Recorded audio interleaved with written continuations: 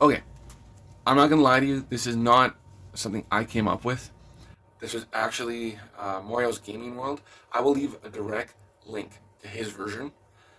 I only changed one card, and that's because I don't have it right now. I traded it to one of the local players, and I thought I had a play set. There's another one on the way, so it will be replaced later. But I'll just launch right into this. This is a Megazoo deck. So I run four DemiVeemons. If the Digimon has jamming, I get to draw a card that I'm attacking with. That's that's it. I run four Veemons. So it has jamming. This goes with the DemiVeemon. So when I Digivolve into it, I'll get a draw. When I bring it out and swing, I'll get a draw off the jamming. So what this is is pretty much draw power. And also an engine for something else. We'll get to that. I run four Sistermon Blancs. Yes, they are beautiful. Yes, they are glorious. Yes, I paid more than I should have for them. but I'm super happy I have them. It's got the effects of on play, I get to draw a card, and then during all turns, as long as I have a Huckmon or a Royal Knight, we're only going to focus on Royal Knights for this deck, pretty much. It's a blocker, which is fun. as well as this, with the new BT7 stuff, I also added in two Sistermon Blanc Awakened. So on play, I can place a Blanc from my hand or trash underneath this Digimon to recover one. That's great. On deletion, I get to return a Jesmon, Huckmon, or Sistermon not awakened Blanc back to my hand from the trash. So it can help me recycle my Blancs, and especially if I put one underneath. That is it for the rookies. But the point is, there's four blockers and four jammers right there. For my champions, I only run three. Two Grumblemon. This is just a swing for game. This is the black version of Lobomon in this deck. And then one CL. So all my Royal Knights gain plus 2k during my turn and my opponent's turn. And then on play, I gain a memory. Onto the ultimates. I run four Megadramons. It's got the inheritable of during my turn, this Digimon swings for 2k more. And then also, it's treated as block. That is very useful. Next card is treated as red, and that's Gigadramon. During my opponent's turn, it gets plus 2k. This is great for anything that has blocker underneath it. Sorry, on it. And there are a few. Last ultimates, I run two Savior Huckmons.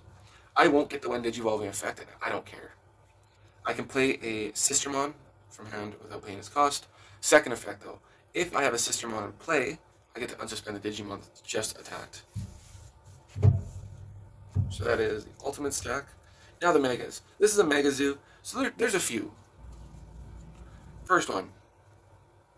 Oh, do I want to show you first? Yeah, yeah, no, no. Sorry, we're switching things. We're going to start with the Royal Knights. I run three Jesmons. These all ideally digivolve over the Savior Huckmon so I can swing twice, bring out two Sistermons. But again, when attacking, uh, I can bring a Sistermon from trash or hand without paying its cost. Second effect, if I play another Digimon, I gain plus 3k and piercing, so I can swing over stuff and just not care and still check security. Oh, yours. This is so much fun. So yeah, Royal Knights with Royal Knights.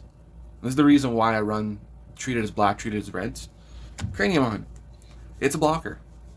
During all turns, anything with blocker can't be deleted. I, it can be DP reduced, it can be returned to hand, but it can't be deleted. And there's not a lot of cards that will stop that. At least that people are running that I'm aware of. These are the megas I'm looking forward to sharing. For BryweLudramon, it's got the inheritable of being a blocker. That's the thing that matters with this. And then one Durandamon. That's right, this is a Ragnaloardmon deck. that is everything for the megas, level 6s. Now my level 7s. This is where I hit the issue of only having three of them. Three Ragnaloardmons. Oh, Durandamon gives piercing. There we go. he has security attack plus one and a reboot. When I Digivolve, I can place a Durandamon or Brywe underneath it to gain three memory. So those five megas I showed at the end there, they can all go underneath them and they can all give different triggers. The one I want to aim for is BryweLudramon, because then I will gain three memory and I'll now have, have a blocker with reboot and security attack plus one. That's 14,000.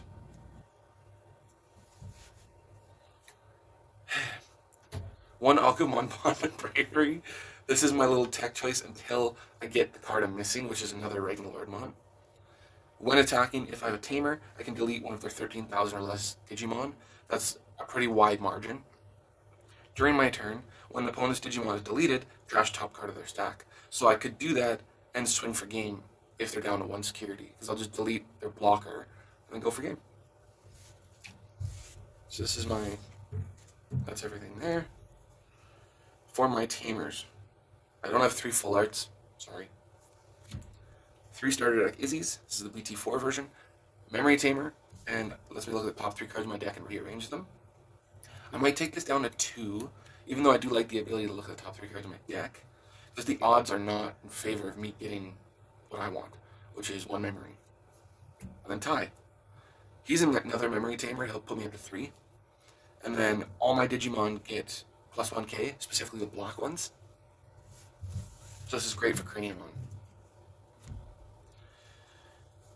Oh, this is fun. These are for the Jesmon, pretty much. For Judgment of the Blades. Anything with Huckmon or Royal Knight in its type can attack over unsuspended Digimon. And that security effect is I can play a sister Sistermon from my hand or trash without paying its cost. This could bring me back another blocker which is really fun. And then another BT7 card, Tidal Wave. I can choose up to two Digimon in my Digivolution cards of one of my Digimon and play them at play them without paying the cost. So if I have that Ragnaloardmon that's got like a few Digimon underneath it, like a Savior and a Jess for instance, and BryweLudramon, I could take out the Jesmon and the Savior Huckmon, leave the BryweLudramon. If I have a Memory Tamer, there are four, but I got two more Digimon on board, and I can just keep going for game and keep getting all these effects off. So it's it, it's really fun. I haven't won a match with it yet. I played a quick game yesterday with somebody just because I was so excited to play it. Uh, he hit a tidal wave in my first in his first security check, so I got to play another ultimate out, and I could have went up, but I never got the chance. He ended up pitching it on the second turn, I think. Last two cards is I run one Ultimate Flare for de-digivolving and board wiping a bunch of rookies, and then Iron Fisted Onslaught. I'm still in between. I might want to switch to just two Iron Fisted Onslaughts. Because it seems like when they know you're playing a black deck, they'll just they'll hard play more without fear. Because it's like, oh, what's he gonna do? De-digivolve me? Burn an Iron Fisted Onslaught? Anyways, that is the deck. This is a lot of fun. And just quick highlight Digimon is Craniamon. Blockers can't be deleted. He's a Royal Knight. She's a blocker. She gives blocker to everything that's a Sistermon as long as there's a Royal Knight. So it can't be deleted. Because he won't let it. Till next time.